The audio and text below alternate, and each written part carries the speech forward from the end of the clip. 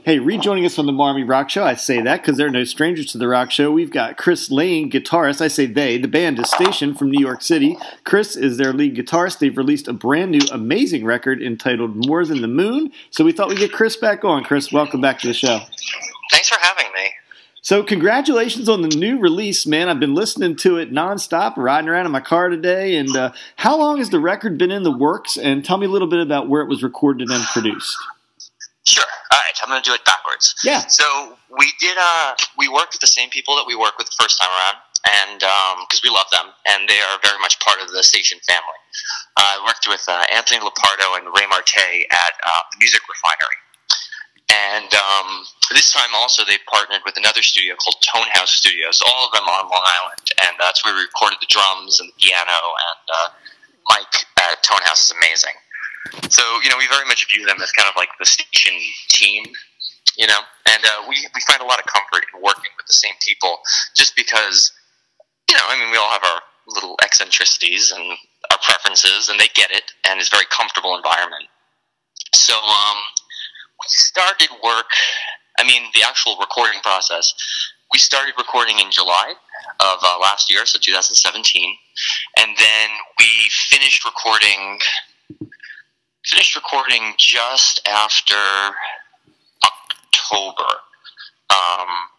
because um, I got married in between there. So you know, I wanted to make sure that not one part of my life was more stressful than the other. and uh, yeah, we finished recording October, and then we mixed it and mastered it, and uh, we've been sitting on it since January when it was pretty much all done. Like, got the final masters. So um, I commend you guys on the release of the full length record. And I know you and I have talked about this before. Let folks know you released a full length 12 song record here. And I'll talk about that decision versus, you know, a string of singles versus an EP, uh, the thought process. So, um, our biggest problem with this kind of stuff is that we just have too much material that we like. And, you know, if it were up to me, um, just as songwriter, I would just I would just basically have a constant stream of music, like kind of like the thinking of like I wrote a song this week, so I can now release it to you. Problem with that though is, that the other side of the thinking is that we view our music kind of like period novels.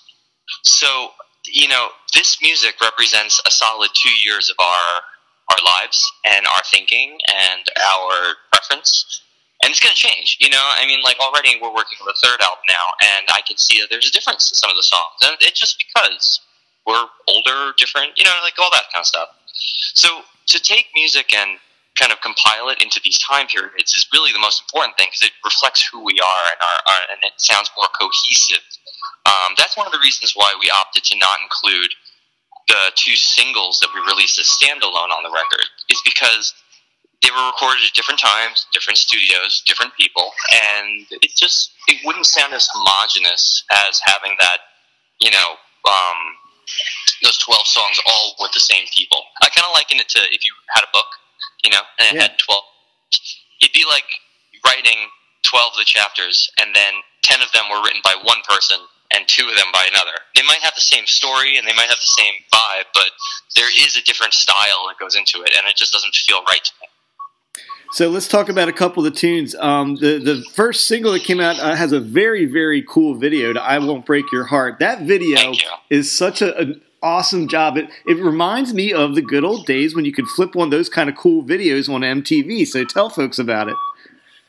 Well, um, so I, I love making music videos, and I love making music videos that aren't just like guys performing in a basement, which is a lot of what rock and roll has become. Um, and I think that's more actually because budget than it is anything. But um, we've been very fortunate to have some incredible people we work with.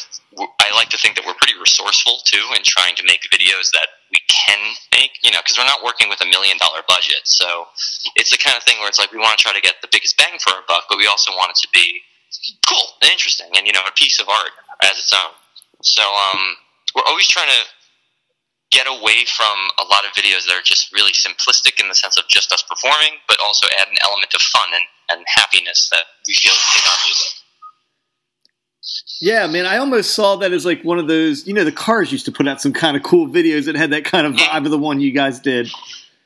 Yeah, it's just, you know, an element of whimsy. I, I think that that's what's kind of missing from a lot of uh, rock and roll. Because if you take it too seriously, it's really not that serious.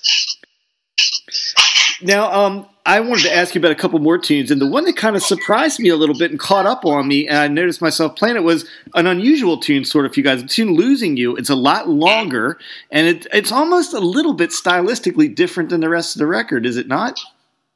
Um, you know, yes and no. So one of the things that that we kind of always uh, talk to people about is a lot of people always say, you know, you're, you're very clearly influenced by this band, this band, and this band. And my response to it is always is like, really not, because we're influenced by a lot of classic rock that inspired a lot of bands that people compare us to sometimes. And you know, I always I always say is that like you might say, oh, we sound kind of '80s, or we might sound kind of like this or like that. But the truth of the matter is that we don't actually sound like another band.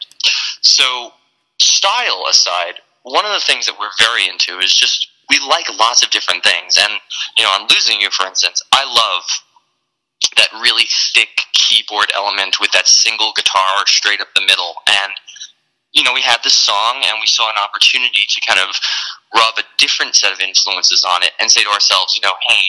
We can do this. It still sounds like us, but it doesn't sound exactly like I Won't Break Your Heart. It doesn't sound like everything. It sounds like a different side of us. So, you know, when you're talking about album five when it comes out, maybe there'll be more of that losing you influence in there. Or maybe, you know, it'll naturally weed itself out. It's just that's the kind of the freedom that we like of recording these albums is that we're not slaves to the fact that we need all the same type of song all the time, 12 times in a row, you know? So it's, it's a cool thing to have that kind of freedom. That's kind of a, a it's a really uh, a great tune, man. It's you know it's like I said, it sneaks up on you. It's it's a longer song, and sometimes you get that foot tapping thing, but that's one of those kind of little mini Journey songs. I really really love it. You know. Mm-hmm. So thank you. Um, and I don't mean Journey the band. I mean like Journey. It takes you on a little journey is what I meant by. Both those things are good. so um, one more song I want to ask you about, which I believe when we talked offline a little bit was uh, possibly your favorite on the record, is the last tune on the album. Yeah, yeah, I love that song, "Walking Away." Tell me a little bit more about it. So, um, I like the song for a couple of reasons. I like the song because it's meaningful to me. Uh, it's about um, when my now wife and I were just dating, just starting to date. Uh, she would stay over in my apartment, and just uh, for some reason, every time we would leave each other in the morning, if I had to like leave or she had to leave, you kind of like slip by saying "I love you," but it's too early in your relationship to say "I love you." So it kind of creates an awkward feeling. But then at the same time, because you both kind of slip saying it, you're also kind of an acknowledgement. You're like, okay, we're, we're fine. It's cool. So, you know, that side of it means a lot to me. But the, uh, the other side of it, too, is that I really think that Walking Away is the most stripped song we've recorded yet.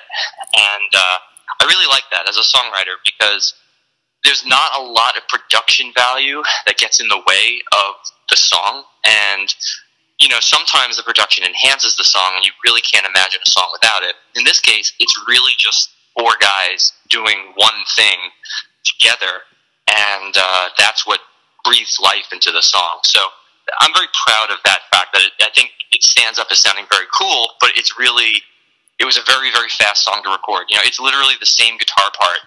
There are no overdubbed guitar parts other than the same part played several times. You know what I mean? There are no two parts. Yeah. So um, that's cool too because as a guitar player, you know, like like great example, losing you, I'm gonna need like an orchestra of guitar players and keyboard players, and then probably you know a guy playing a goat to, to recreate that live. Walking away, if you put me in a room with Emmy, Tony, and Pat, we will we can do that exactly. So, um, talk about some live shows you've got coming up. I know you got a really cool show with Autograph. Tell us about that one and some other things you got going on. Yeah, so we're playing with uh, not next week, the week after. We're playing uh, Autograph in Massachusetts, and then we're going to be back at the Ridgefield Playhouse after that uh, next day. Then the following week is when we do our tour of uh, short tour of the Midwest, and we'll be starting it at the M3 pre-party, and then driving overnight to uh, playing Melodic Rock Fest in Chicago, and then that'll start basically a week and a half of us. We're going to hit um, Milwaukee and St. Louis and Nashville and Louisville, and Cincinnati, and a lot of places we've been to before to kind of bring the album in a live venue back to people who, uh, who have heard it. So that's going to be exciting. And then, ironically, the rest of the summer is actually kind of back and forth because we have lots and lots of these three day tours and then coming back because we're going to start working more on another album. So, um, really quick, I know you guys are super quick about putting out music videos, and I don't want to rush you because you just released one, but I know you guys crank them out fast. Are we going to expect uh, some more videos off of this record coming our way? I think you can probably expect about four more. Wow. Well, you yeah, know you know, you gotta just you gotta do them all the right way to make them so that you don't wait three months to record. Because like every time, it's like a record. In order to, for me to think about releasing another album next year, I need to start thinking about it now. I need to even be in the process of recording it now because it takes so long. So like we recorded that music video in early February, and I, am not exaggerating when I tell you the final draft of it came Thursday night before it was released. So, you know, it was a, that was a slightly stressful situation, but at the same time, it was done. Hey, so you mentioned like you know that you just have this wealth of songs that you guys have. Have you ever given one away or thought about giving one away to another band and said, you know what, I'm gonna either not even sell it or you know just give it off to another band? Has that ever happened? Um, not for this kind of music. So, so I, I I'm the principal songwriter of the band, and I find myself writing. I write a lot, a lot of music, a lot of music that that no one's heard from Station, and I find that the majority of the music that I write is not like Station. So, uh, you know, one of the things that I feel very strongly about is that in order to breathe life into what I consider to be like a rock and roll songwriting kind of thing, I need Pat and I, I need Tony and I need Emmy, and we kind of build it together because if another artist recorded those songs, it just wouldn't sound like Station. So I don't think I'm at the point now where I, I, I, feel comfortable saying to myself, okay, I can take these songs and, and send them to someone else because I don't know if I trust anyone to do the right thing with them yet. Um, I've written for other artists, but I usually tend to write more pop based music for other artists. So, you know, when it comes time to that, it's a different side of the songwriting.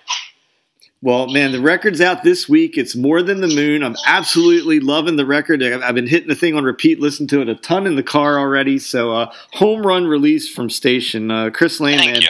Yeah, man, you guys really nailed it with this one. And uh, they're from New York City. Catch them out on tour. Catch them at the M pre party. They're back there again. That's always a good time. And uh, Chris, man, we'll be keeping an eye on what, what I think could be uh, Station's biggest year to date, possibly, huh? I hope so. We'll see. And then next year we'll follow that. hey, Chris, man, thanks so much for being back on the show. Thanks for having me, man.